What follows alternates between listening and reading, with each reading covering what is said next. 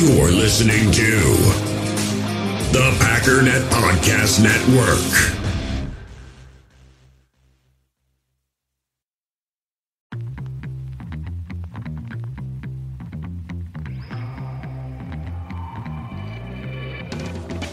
Ladies and gentlemen, let me ask you a question.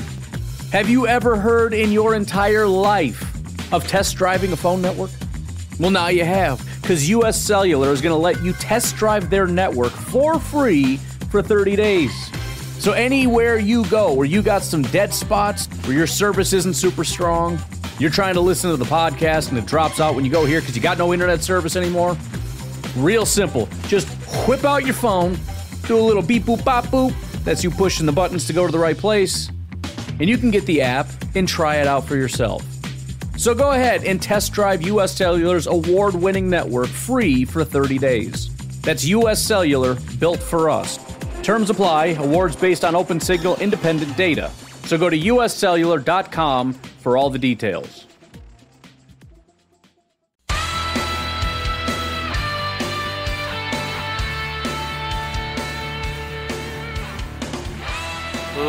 Ladies and gentlemen, welcome once again to the Packernet Podcast. I am your host and resident fanalist, as always, Ryan Schlip.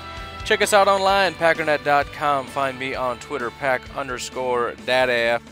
We be broadcasting, as always, from the Vivid Seats studios. Use promo code OVERTIME in the Vivid Seats mobile app to save up to $100 on all ticket purchases. First time customers only. So I've got two main objectives here today. I just finished breaking down the Vikings Falcons game, and really, it's it's. I, I just did the video. I'm working on processing it and getting it uploaded to the uh, Pack Daddy Premium Facebook group that is uh, available to anybody who is giving ten dollars or more on Patreon. But really, it was pretty much watching every play in the first quarter, a couple in the second, and like one in the fourth, because you kind of just get the idea. But uh, kind of going over what I saw my thoughts on this particular game, and of course we got to talk about Minkah Fitzpatrick because that's all anybody. I don't even I don't even want to talk about it. We're not going to spend a lot of time on it. I'm just not interested in talking about it, and I won't tell you why because it's pretty much going to sum up my thoughts. So we'll we'll leave it at uh, we'll talk about that first and get it out of the way. Just just I, I don't know. I tried to find that scene from The Office to play and I just couldn't find it. You know where Erin's like talking about her personal problems and Jim's in the car and he's like, "I'm uh I'm gonna go." And then they cut to him later, and he's like, "I'm sorry, that just that just wasn't interesting to me." That's how I felt on Twitter yesterday with the whole Minkah Fitzpatrick. I put out a question. I was like, "So what's going on with Minkah? Like anybody, people lost. They're like, "What are you talking about? He's the greatest guy ever." And of course, nobody's been watching him. Nobody has any idea what's going on in Miami. They freaked out, and then I was like, "Well, PFF said he wasn't very good, so I'm just kind of curious." And then they find like a couple PFF stats and everything. It's just like we know he was a high he was a high draft pick in round one, and that's pretty much all we know about Minkah. Nobody has paid any attention to him since he moved to Miami. Nobody realizes that. He, fine, I guess we're getting into it now. Nobody realizes that he single-handedly made all those Hollywood Brown highlights against uh, the Baltimore Ravens. You know what his stat line was in Week One against a rookie? Six targets, six receptions, 117 yards, 59 yards after the catch, three touchdowns, and a perfect passer rating when targeted. Also, on a per snap basis, this is every time the ball is snapped, not every time he was targeted, every time the ball was snapped, he gave up 5.85 yards. He gave a reception up once every three snaps. Every third time they snapped the ball was a catch by the guy that Minkah Fitzpatrick was guarding. All of these stats are worst, anywhere from third worst to worst in the NFL in week one. Now, everybody kind of has bad days but he single-handedly lost that game for the Baltimore, for the uh, the Miami Dolphins. Six receptions, by the way, is the most any corner in, or excuse me, any safety in the NFL gave up uh, in Week One. 117 yards is the most yards any safety gave up in Week One. Three touchdowns is the most any safety gave up in, in week one. There was only one other safety that had two touchdowns given up, and that was Mr. Jermaine Whitehead. We remember him and then there were only let's see, uh, I think maybe 11 or 12 guys that gave up one touchdown. Everyone else is zeros. Minkah gave up three. So please excuse me when I ask the question: Are we sure that he's as good as we thought he was coming out of college? And the common refrain typically is, well, he's not the greatest safety, but he's really good in the slot, which, yeah, maybe. Here's the problem, though. He primarily played in the slot for Miami. So much so that PFF called him a cornerback. That was his label. I tried to find him as safety. He wasn't in there. He's with the cornerbacks. He was graded as the 110th best cornerback in the NFL in 2018. 110th. Granted, in 2018, that would have made him our third be- or excuse me, our second best corner after Jaire, because Josh Jackson was 132nd, Kevin King was 138th, and Bashaud Breeland was 154th. But I'm thinking top 100 should be kind of the minimum. So again, excuse me for asking the question, but I felt the need to ask the question. He had a below average tackling grade, a below average pass rush grade, and a below average coverage grade. The only thing he really did well was run defense. Makes me a little bit nervous, right? So, I. The bottom line is, I, I guess I just don't care. Um, I just want somebody to pick him up so we can move on. I'm, I'm almost to the point where I'm getting tired of these things because it, it just it, it pops up. Packer fans freak out. We got to get him. Everybody wants him. Everybody says we got to get him. I don't know, man. Between Jaire, um, Tramon, Kevin King, Tony Brown, Darnell Savage, Raven Greene, Adrian Amos, and Minkah Fitzpatrick, who do you think had the worst week one performance? It would be Minkah. It would be Minkah by a lot. And, you know, maybe we can blame that on Miami. Maybe we could say that a lot of guys Hollywood Brown would have torched. You know, I, I don't really know. But again, makes me a little bit nervous, especially when we're talking about giving up players, giving up draft picks, whatever. Eh, I don't know. I don't know. Not so sure. But if we get him, that's cool. And why is it okay? And why am I not going to be upset despite the fact that I'm nervous? Because that means the Packers have evaluated him on a much higher level than I have. They believe that he is, in fact, a good player, and not only that, they have a specific plan for him. And that's going to get me excited because that's a good thing. In fact, they believe he's going to be such an upgrade that they're willing to give up X, Y, and Z compensation. That's going to get me extra excited because I don't think the Packers personnel people are dummies. I'm just saying, prior to actually understanding what the Packers believe, I have some questions, and I'm concerned about what level I'm willing to pay and um, what exactly his job is going to be. presumably, he's going to be in the slot. And if it's true that he is a really good slot corner and a lot of his mishaps have been at safety, perhaps that's what happened in Miami, where when he took the top off, he was Minkah was playing safety and um, just couldn't get there. I, I, I don't know. I, I didn't watch it, and I'm not going to watch it because, again, not that interested. But real quickly, let's look at what he did in the slot last year because there is a metric by PFF to look at his slot coverage. Snaps per reception. You want this to be a very, very big number. How many times did they snap the ball before you gave up a reception? Minkah Fitzpatrick in the slot was ranked 43rd overall. Um, 10. 10 was his number. 10 snaps for every reception he gives up. Snaps per target should be a smaller number because presumably there were certain times you were targeted and broke up a pass, but still you want as big of a number as possible. Minkah Fitzpatrick ranked 100th 100th. Now, the disp- that, that doesn't necessarily have to be a bad thing because if there's a big disparity between targets and receptions, that means that you were targeted a lot and they weren't able to do much. So snaps per target, I'm not as interested in, but snaps per reception, you know, he was 43rd. And I think the the best metric is actually yards per snap. And the reason I think yards per snap is is the best is because essentially it's not only snaps per target, but it's snaps per reception, but also how impactful were these snaps. So you gave up a bunch of passes, but I mean, were they quick little passes? Were they deep passes? I mean, where did, where did you kind of mess this up? So how many yards on a given snap? Minkah was 41st with uh, one yard per snap. And if I actually minimize this or, or, you know get rid of some of these guys that have very few opportunities here, he ranked 11th. He actually ranked tied with Jaire Alexander. So some reason for optimism there. And then as some people pointed out, he actually has the highest or excuse me, the lowest technically, but he's number one in NFL passer rating when targeted from the slot. I'm less interested in that. I think his yards per snap being 11th is the most impressive. And the reason I say that is because he had two picks, which is awesome. And you want a guy that gets the ball, you know, which I'm sure will appeal to the Packers. That's a big emphasis. They want a guy that's going to get it.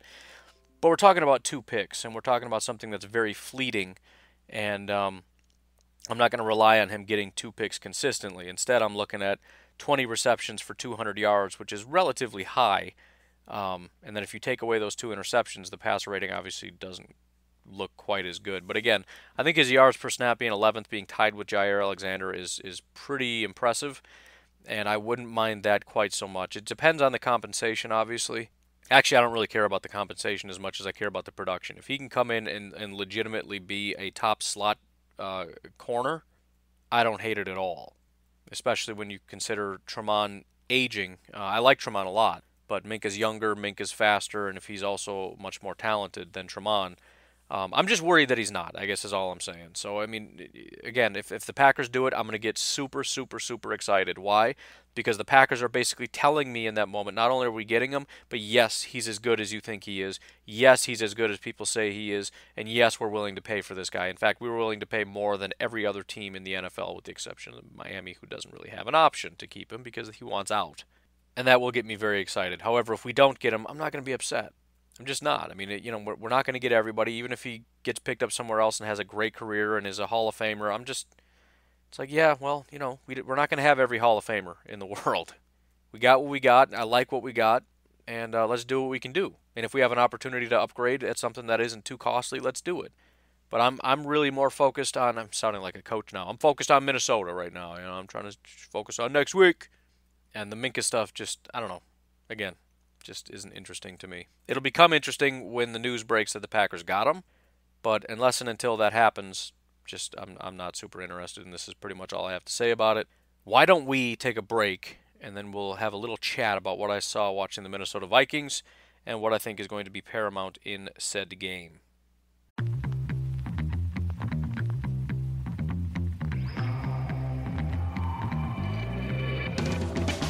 Ladies and gentlemen, let me ask you a question. Have you ever heard in your entire life of test driving a phone network? Well, now you have, because US Cellular is going to let you test drive their network for free for 30 days. So, anywhere you go where you got some dead spots, where your service isn't super strong, you're trying to listen to the podcast and it drops out when you go here because you got no internet service anymore, real simple. Just whip out your phone, do a little beep boop bop boop, that's you pushing the buttons to go to the right place. And you can get the app and try it out for yourself. So go ahead and test drive US Cellular's award winning network free for 30 days. That's US Cellular, built for us. Terms apply, awards based on open signal independent data. So go to uscellular.com for all the details. So, I'm uh, I'm trying to figure out how to make this long because it, the observations I can sum up pretty quickly.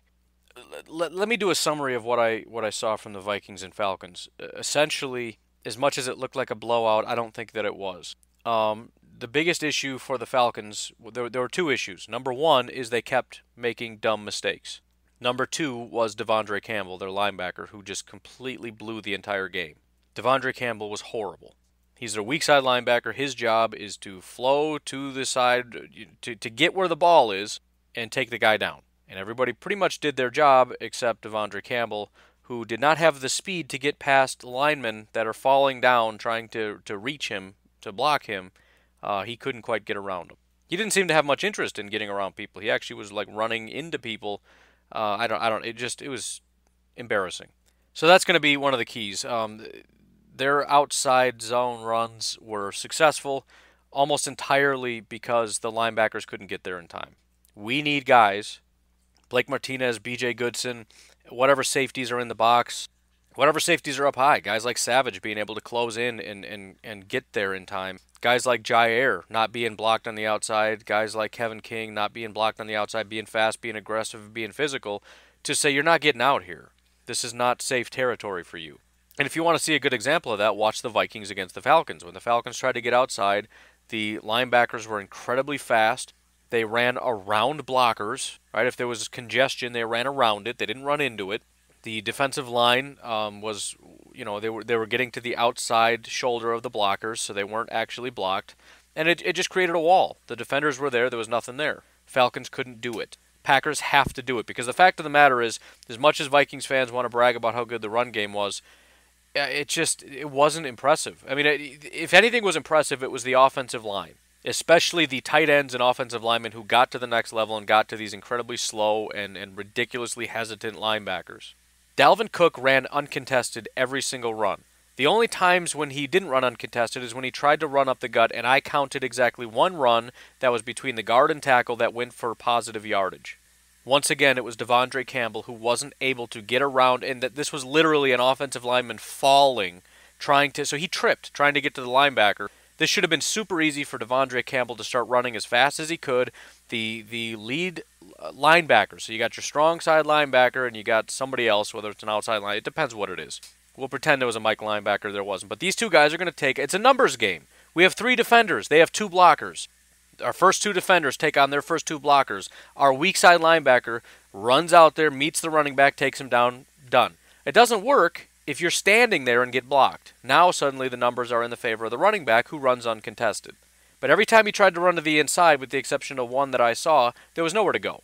So if you essentially take that away because you have better linebackers or safeties or whatever, I didn't see the Vikings do a whole lot. Obviously, they didn't throw the ball very much. Uh, on the flip side, there were several times. So the the Vikings' first two touchdowns came on a very very short field, followed by running backs running uncontested into the end zone because linebackers are terrible. I'm not throwing a parade for the Vikings on that. Another drive that they drove down the field, there were two third downs in which the Vikings couldn't convert, and the, the Falcons had uh, defensive holding, defensive pass interference plays that converted first downs. So again, the, the, the second thing the Falcons did was get in their own way. As far as the Vikings defense, it, it was it looked pretty good in terms of especially the linebackers being fast and, and making good decisions and I'll get on that in a second because essentially what, what it is, the Falcons kind of figured them out. The Falcons were able to move down the field no problem. However, the Falcons move down the field and then they fumble. The Falcons move down the field, threw a pick in the end zone because Matt Ryan doesn't know how to throw a pass out of bounds and he doesn't throw it hard enough and it goes into the hands of the defender. Another drive, they marching right down the field. Third down, they convert it. It's a uh, a holding penalty. It gets called back. Now it's third and long, and they get sacked three drives they're marching down the field and they, they basically put their own foot in their mouth. They got in their own way. And then the fourth time when they're driving down the field, this is just in the first half. The fourth time they're driving down the field, two big plays, halftime. So the clock got them. The Vikings didn't shut down the Falcons' offense at all. The Falcons shut down the Falcons' offense. And I think one of the keys, and it's a big difference between the Bears and the, the Vikings, is that the Bears were very, very um, patient at the linebacker position. They waited and they waited and they waited and then they they flowed in the right direction very very quickly at exactly the right time. It was unbelievably hard to even look at it and say I don't know what we could have done different. That was just great play by the linebackers. The Vikings aggressive. This is exactly the kind of, of aggressive defense that Matt LaFleur is going to want to take advantage of because essentially what killed this team for the, the what the Falcons figured out in the second half when they just started charging down the field, this time actually getting touchdowns, except they marched down the field, got a touchdown, tried a two point conversion, couldn't get it. Marched down the field again, got a touchdown, didn't convert the, the two point conversion, and then the game was over. But essentially it was it was basic play action because the linebackers are so aggressive. As soon as you go to hand the ball off, they're flying. And that just left a lot of vacancies in the middle of the field. It left one on one man matchups that uh, guys were able to beat. And if they're going man to man, we got to have guys that can win, is going to be the biggest thing. Right? So um, in those situations, they were hitting guys like Mohamed Sanu and, and, um, and Calvin Ridley because those guys were, were man to man by themselves and just wide open green grass in the middle of the field because the safeties are deep, respecting the speed, and the linebackers are up at the line of scrimmage trying to stop a run that never existed. Uh, the one caveat I'll put in there is not to get too cute. There were times when you'd have a lot of motion and you'd have basically a wide receiver motion to the tight end position, try to block an outside linebacker because you assume he's going to run a route, he stays in to block, gets obliterated, and then you get a sack. Let's not get too creative. I, I think basic basic motion type stuff. And one of the things that was very effective for the Falcons is something that was very effective for the Packers, and that is just these short little out routes. But I think if you, if you add the Packers' level of misdirection, which is a little bit more advanced than the Falcons, the Falcons did use some motion. Occasionally, you saw things where you'd have two guys moving after the snap in different directions to kind of throw things off, but not a lot of it. And you definitely didn't have the the the tight ends kind of motioning to the other side and then running routes or blog, you know, that kind of stuff where that's just a staple of the offense. That just didn't really happen. But I think this is another another level of complexity that the Vikings are going to have to be able to compete with. Now, they're going to have a lot of practice because, as I said, this is basically the same kind of offense that the, the Vikings are running. They're running a very similar style of offense in the Packers, so they're going to have plenty of practice in terms of how to stop it. However, this is not something that the defensive coordinator or this defense that's been here for a long time is exactly used to. Right? They haven't seen this a lot, even though they have an offensive coordinator that can kind of give them a lot of practice reps. It's it's going to be different, and it, it's going to be hard to assess because it's a different game plan. So the the defense is going to act differently. The Packers are going to act differently. But really, what it came down to in that game is that the Vikings just played fundamental, solid football, and the Falcons were sloppy. And um, if, if we're going to win this game, we've got to play better football. The defense played great, but if, if the offense is going to play sloppy again, we're going to have a hard time. Now, I think the Packers are going to be better at protecting the football. I think there were two fumbles that they lost and a pick, so three turnovers. That's pathetic. Let's not give them the ball. And the, and there was a uh, maybe I'm wrong about one of the fumbles. I don't know because there was also a punt block, so that would be four turnovers if I'm correct. It was at least three, maybe four but also you know penalties on crucial third downs on both sides of the ball. I mean, just on both sides of the ball. I mean, even Matt Ryan, he had an easy third down conversion. He just airmailed it out of bounds, and then he had the the pick where he tried to throw it, and it, it was it was first and two, I think. They ran the ball, didn't get it. Now it's second and two, and then he just throws it to the defender, trying to get it out of bounds. I mean, it's just it's pathetic after you march all the way down the field. So the the bottom line here is the Vikings are beatable, but they're going to play good football. The offensive line can't pass block. They're not the greatest run blocking unit out there, but they're going to get there, and they're they're they're running really good scheme wise, and it's a matter of they're going to execute. Whether they're going to execute it really well or just eventually, they're going to execute it. And if we're going to play like the Falcons and not get these linebackers and, and whatever safeties or whatever are playing at that that sort of middle level there, whoever it is, corners, linebackers, safeties, defensive tackles, whoever's at that level is going to have to be able to have the speed to get out around these linemen. That's going to be the biggest thing if we're going to stop this this run game because again, it's all about numbers. When you're running to that direction, they're going to have lead blockers. So it's going to be important to have guys like Preston Smith to take out. You want to take out as many blockers as you can to make sure that somebody's there to come up and make the tackle. And the other thing is swarm. The Vikings do a great job of swarming. The Bears do a great job of swarming. Last week, the Packers did a fantastic job of swarming. The Falcons are pathetic at, at trying to swarm. Essentially, everybody gets blocked up, and it's a matter of hoping somebody can make a play, but nobody does. And the linebackers don't even have the speed, De'Vondre Campbell, to get around linemen who are trying to reach him. And did reach him literally every single time don't let them reach you because then it's a numbers game in our favor. And beyond that, if somebody just wins, you know, if Preston's trying to get blocked and he gets off there and gets to the next level and gets to the next blocker, the numbers are in our favor again.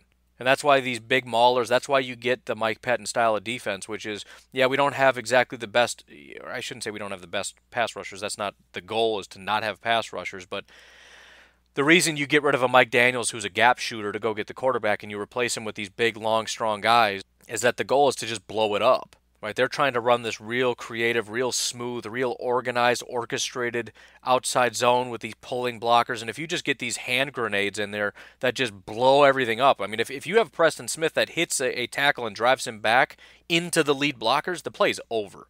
The play is wildly over, and he's immediately got to cut it back inside, right? Just just getting something basic like penetration is going to blow that play up because not only does a running back need to get around, both of the the blockers who are just barely scraping the offensive line need to be able to get out and around to get to these these linebackers. So that is essentially it, and that's that's going to be a big thing because they had no success whatsoever running to the inside. They were able to. Dalvin Cook ran uncontested, as did Alexander Mattison, their um, their rookie. They they just ran un- uncontested on the outside because the you know they just ran a basic outside zone play, and the Falcons just couldn't couldn't stop it.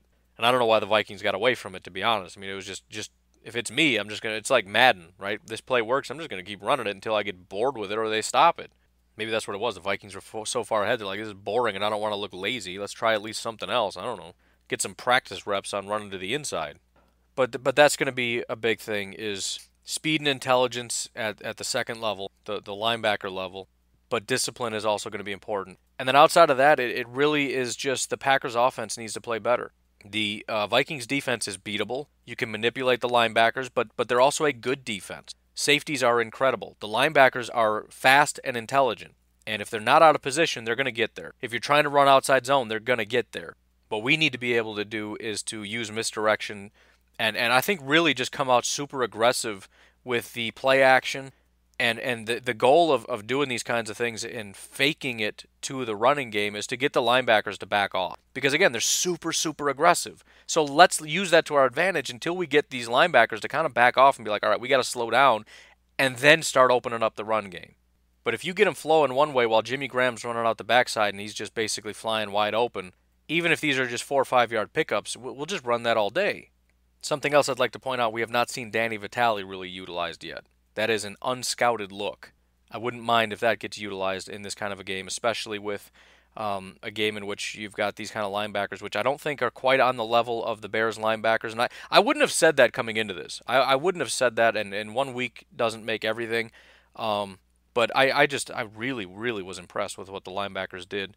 And sometimes being aggressive works to your advantage. They're going to get there before the Bears linebackers get there, but they're also going to make a lot of bad decisions. And that's how the Falcons ultimately open this up. Is just basic play action.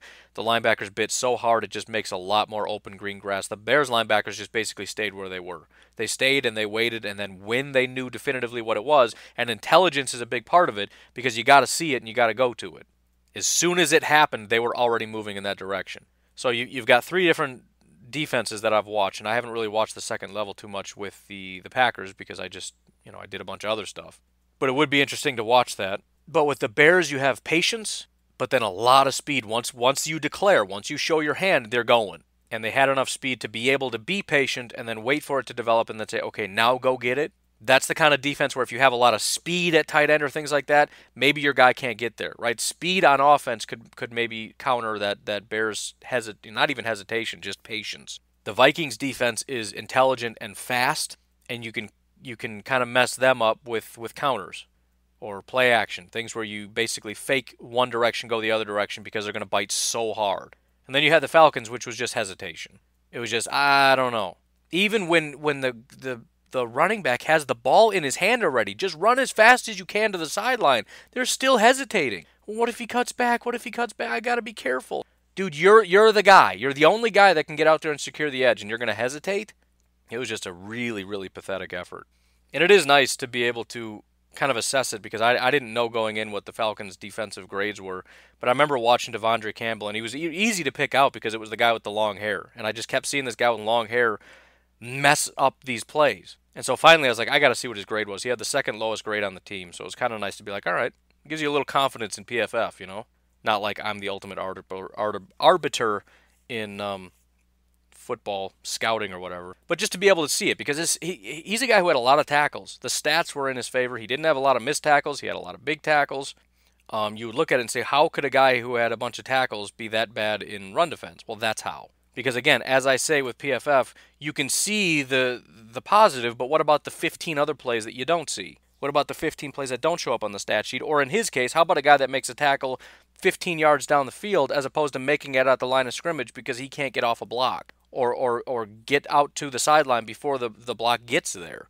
So, anyways, as I'm looking at this game, having watched a little bit of the I, I didn't even really get a chance to watch the Packers offense yet. But yeah, I did. That's, that's a lie. I did get to see it but I didn't do a, a full breakdown or whatever. Anyways, um, it's so depressing to look at this PFF thing where the entire offense is just bad. The highest graded offensive starter is Jimmy Graham on this entire team, and he had an average grade. Adams average, Allison below average, Bakhtiari below average, Taylor below average, Linsley average, Turner average, Bulaga average, Jimmy Graham average, Valdes Scantling average, Rodgers below average, and and um, Jamaal Williams average. And if we switch this up, Aaron Jones below average. It's because of the Bears defense, but man, is that depressing. But anyways, it doesn't matter. So more than likely, what we're going to see here is something to the effect of of a Adams double team, and that can be done in a lot of different ways. But um, my my thought primarily is that they're going to put Trey Waynes on him because he's a less talented corner, and so you put Trey Waynes on him because he's less talented, but then you also double up, um, and then you put Xavier Rhodes, who is your better corner, and you put him on a guy like Marquez Valdes Scantling. Now you've got a double on one guy, you've got a number one on a number two. It creates sort of two mismatches. And I think as far as numbers, the, the Vikings are going to make sure that everything's in place. So it's going to come down to two things. One is winning, right? Marquez is going to have to beat Xavier Rhodes. Geronimo Allison is going to have to be able to beat Jermaine Kearse. The offensive line is going to have to be able to beat the defensive line. But it's also going to be about uh, spacing and misdirection right? If, if we're running play action to draw these linebackers up, and we got Davante Adams and and you know Scantling, for example, running deep routes. You know, Davante's just running a, a go route, Valdes running a, a, deep post or whatever, and then you got Geronimo Allison basically just running a crossing route behind the linebackers, but in, in uh, across the face of Kearse. The bottom line is Geronimo Allison has to win that. It's you know it's, it's a man beater. Just just go and, and beat him across the middle. So and again, it, it, it somebody was asking the question. Um, on the Matt LaFleur press conference, somebody asked a question about, you know, you should be able to scheme guys open or whatever. The the problem with that is there are plays that you can draw that can win. For example, exactly what I just described is a play in which we should win that. You know, Geronimo Allison should be able to come open across the middle, but it still always comes down to execution. And there's also a, always a counter.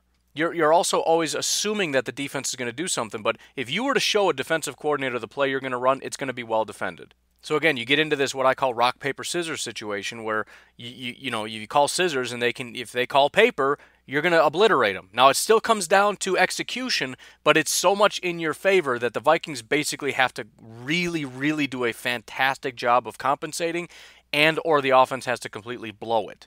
On the flip side, if you call scissors and they call rock, it's not that you can't necessarily beat it, but it's going to take a superhuman effort that or again the Vikings defense to completely botch something. So th- there's always these these separate dynamics. There's the play calling, but then there's also the execution. And I, I think on offense, from my perspective, it was primarily an execution issue.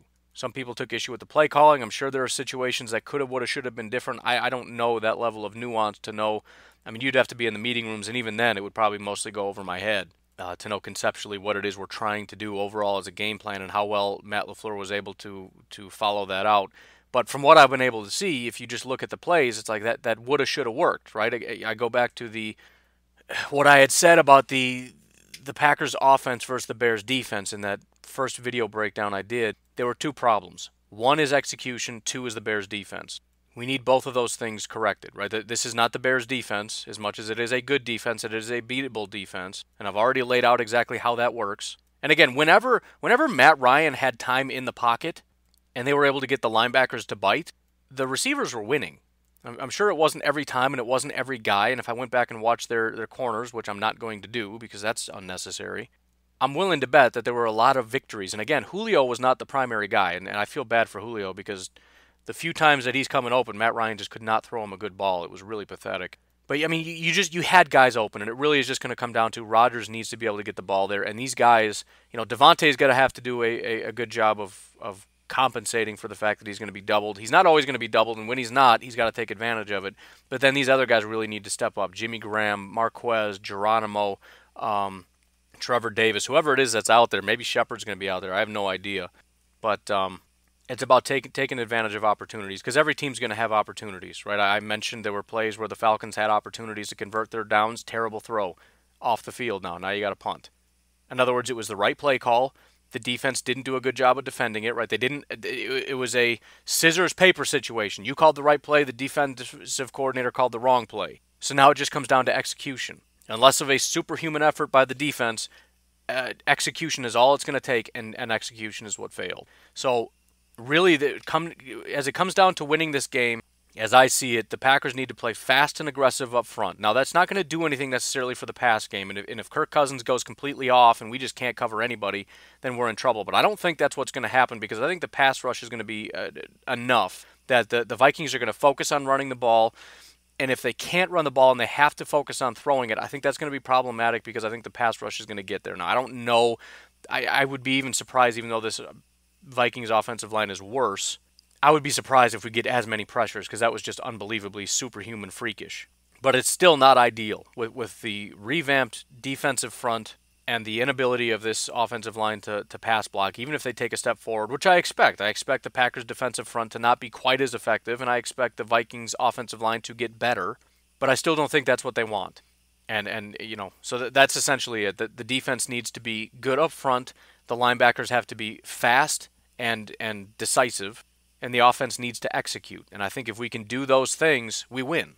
Now, I mean, you know, we can go down the line. Well, what happens if the corners are just terrible and they, well, then yeah, then we lose, okay? If the corners are just letting guys come wide open and they can just drop back and, and do a, a three step drop and launch it 40 yards down the field and you guys are wide open because the safeties are terrible, of course.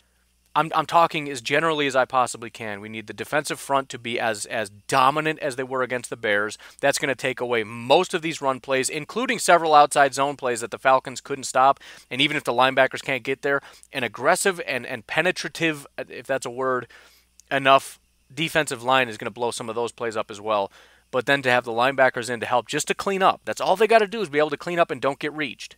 If we do that, their run game is obliterated. It's done. It's not going anywhere. They'll get a couple, Um, you know, they're going to win some of these battles, but but we have to take it away to the point where the same thing we did in week one.